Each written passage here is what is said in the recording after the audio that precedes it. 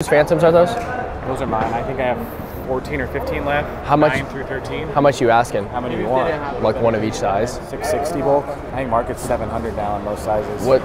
I can take a 13. It's just I don't want to pay 660 for a 13. It's so damn high. The 13's the one lower market, and all the other sizes are like seven, 750. Last time I was a couple days ago. If I grab some Phantoms, um, could I wire you?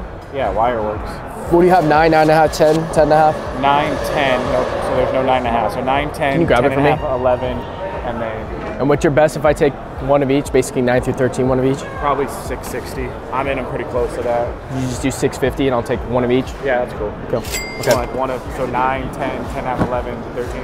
Yeah, yeah, yeah, yeah. Okay, so I just picked up basically like a half size run of Travis Phantoms. I'm just gonna wire them. Uh, I can't find, I, I can't find them anywhere. It's kind of a pain in the ass. So You've been selling them good too. yeah, as soon as we get them, literally the moment we have them on the website and we get them at Scottsdale, they move like